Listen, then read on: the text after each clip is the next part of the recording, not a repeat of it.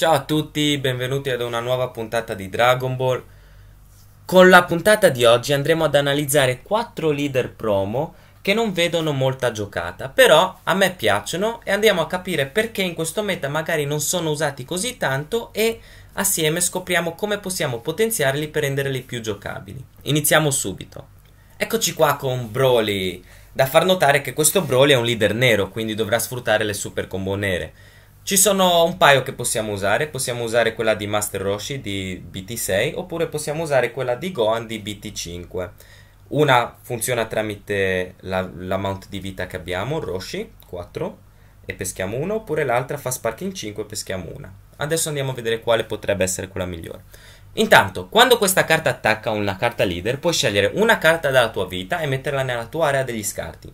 Se lo fai, metti le prime tre carte del tuo mazzo nella tua area degli scarti. Poi il tuo avversario sceglie una carta dalla propria mano e la mette nella sua area degli scarti. Quindi, già di principio questo leader fa molto.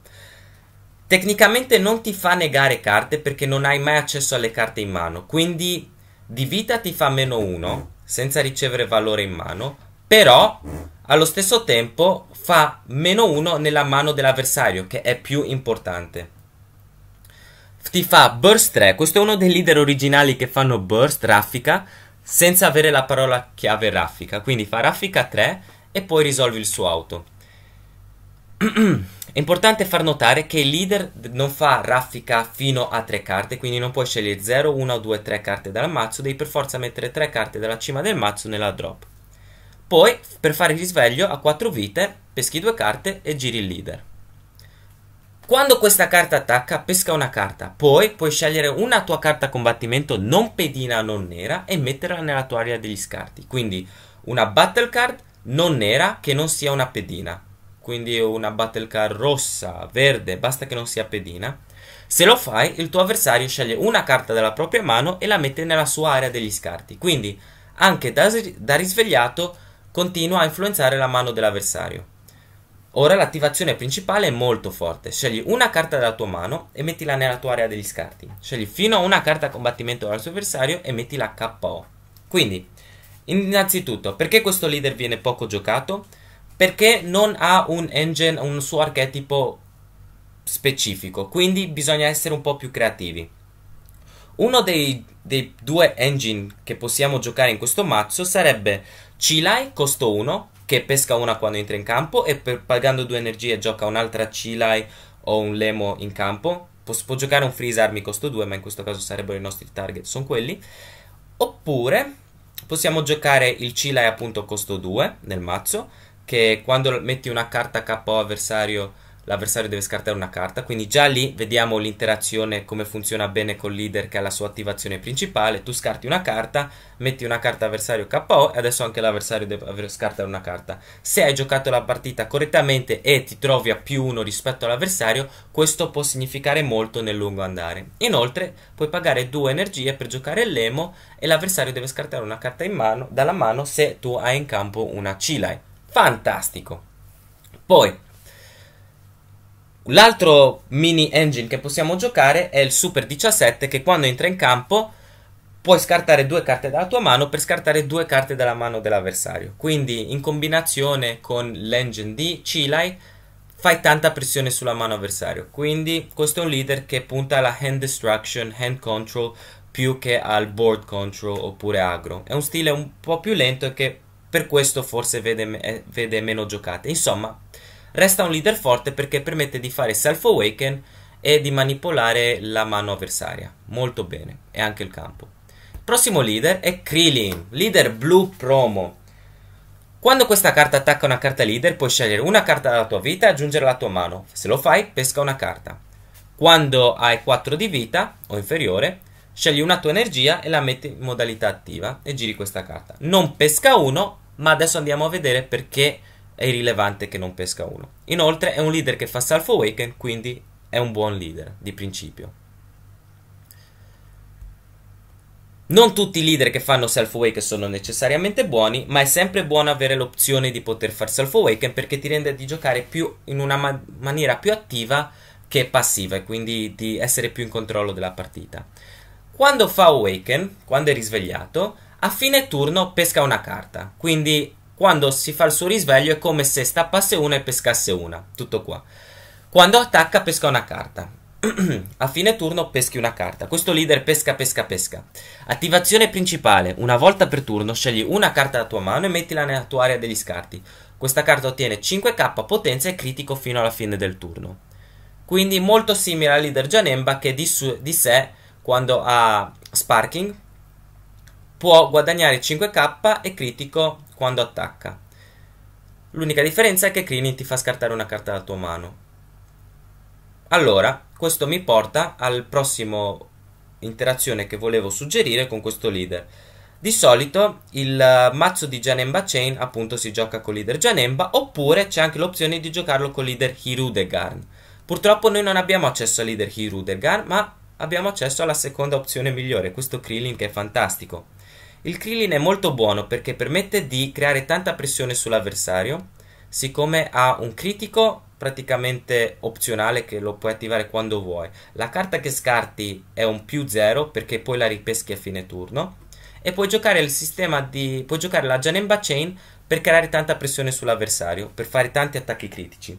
Ovviamente bisogna far notare che la Janemba Chain si ferma col leader costo 5, col Big Boy costo 5, scusate, non leader costo 5, perché richiede un leader Janemba o Devil Incarnate, non mi ricordo esattamente, però non puoi giocarlo con un leader non Janemba, almeno per ora.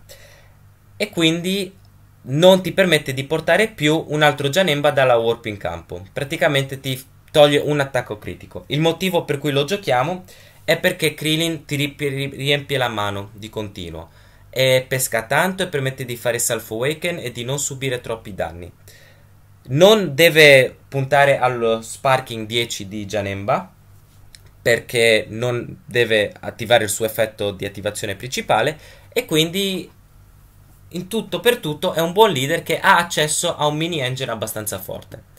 Il prossimo leader che andiamo a analizzare è questo bellissimo Son Goku, uno dei miei leader preferiti, uno perché l'arte mi piace un sacco, due perché il giallo e blu nell'arte sono bellissime, a me piace il giallo e il blu, e in più perché il suo effetto Awaken è molto troll, ma è altrettanto forte. Adesso andiamo a analizzare la parte forte e la parte molto più situazionale.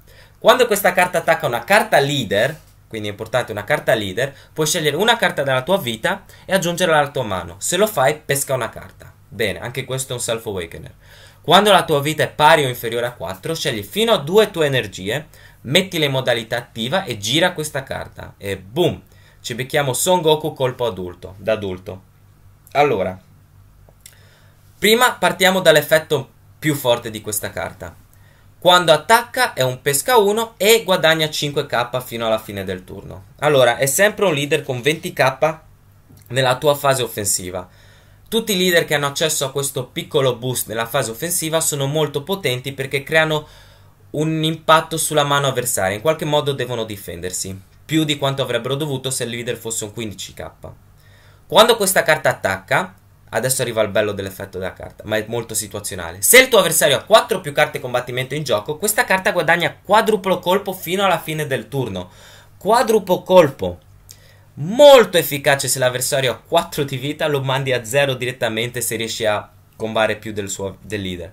Però tu dici, magari mi fermano l'attacco. Eh no, L'effetto continuo di Goku dice quando l'avversario ha 4 più carte combattimento in gioco, gli attacchi di questa carta non possono essere annullati. Quindi, questo è un leader contro il passivo perché forza l'avversario a giocare intorno all'effetto del leader. Se si dimentica, devono stare attenti. Adesso magari non possono più autocombare e perdono.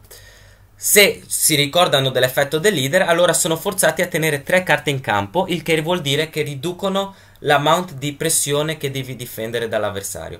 Meno carte in campo vuol dire meno attacchi possibili. Più carte in campo vuol dire che adesso l'avversario deve trovare un modo per difendersi efficacemente o magari si è dimenticato e adesso deve subire la punizione di Goku. In ogni caso è un buon leader perché ha accesso a Shocking Death Ball e ha l'accesso alla super combo più forte nel gioco che è il Paragus. Il Paragus pesca 2 e poi warpa 1. Quindi se la tua ultima super combo in mano, se la tua ultima carta in mano ti permette di vedere due carte prima di dover fare una decisione e warpare una. Fenomenale. Inoltre, con questo leader possiamo giocare l'archetipo di Goku di TB2, quindi praticamente possiamo giocare l'engine dei Krillin che entrano in campo e quando vengono messi KO possiamo giocare il Goku costo 5 che entra dalla mano in campo con doppio strike e quando entra in campo spacca una carta avversaria ignorando barriera di qualunque costo. Quello è un mini archetipo che possiamo girare con questo leader. Infine, questo è un buon leader che viene usato poco ma ha tante pot- potenzialità. Infine, il mio leader preferito, Broly, di questa serie di 4 leader. Broly, fantastico, adesso andiamo a vedere perché è fenomenale. Prima di tutto è una carta che anche lui può fare Self Awakener. Puoi scegliere una carta della tua vita e aggiungerla alla tua mano quando attacca. Se lo fai, pesca una carta. La differenza tra lui e il Goku è che il Goku ha lo stesso effetto ma solo quando attacca il leader avversario mentre il Broly può attaccare anche una Battle Card e può prendersi un danno e pescare una, quindi è leggermente migliore dal lato Unawaken. Poi, quando la vita è pari a 4 inferiore, stappi due energie e lo metti in modalità risvegliata, cioè lo, lo, lo giri. quando questa carta attacca, pesca una carta. Innanzitutto guardiamo quanto è bella questa arte. Poi Guardiamo quanto è bello i, suo, i suoi due effetti. Ha due effetti attivazione principali che sono fenomenali. Primo effetto, scegli una carta combattimento del tuo avversario e mettila in modalità spossata. Fantastico, ti permette di controllare il board dell'avversario, permette di mettere i blocker avversari in modalità spossata e adesso non possono più bloccare attacchi. Uno ovviamente. E l'effetto non ignora barriera, ma è giusto per bilanciare il gioco, se no sarebbe troppo forte e poi permette di mettere in modalità spossata carte che magari tu vuoi avere in modalità spossata per attivare i tuoi effetti oppure per poterle attaccare e distruggerle.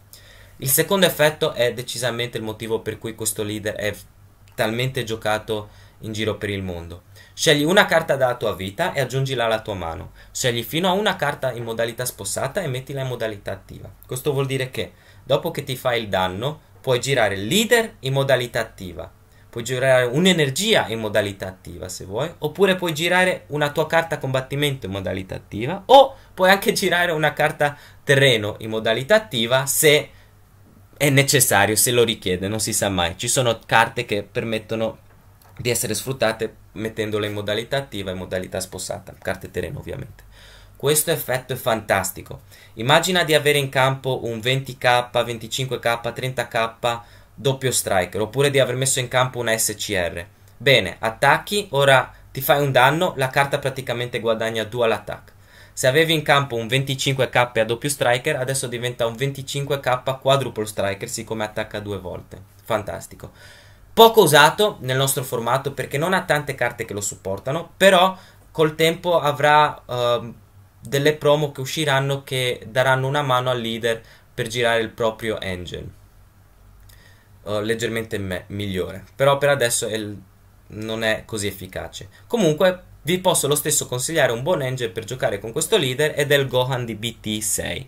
Il Gohan di BT6, quello che entra in campo con uh, doppio strike e dual attack, è ottimo in questo mazzo perché mette l'energia dell'avversario in modalità spossata e poi fai due attacchi con uh, doppio strike e infine puoi fare un terzo attacco grazie all'effetto del leader, ti fai un danno, rialzi il Gohan, eh, Gohan SR di BT6 e concludi col tuo terzo attacco triplo strike, doppio strike. Fantastico effetto, fantastico leader e decisamente uno dei miei leader preferiti da giocare in generale.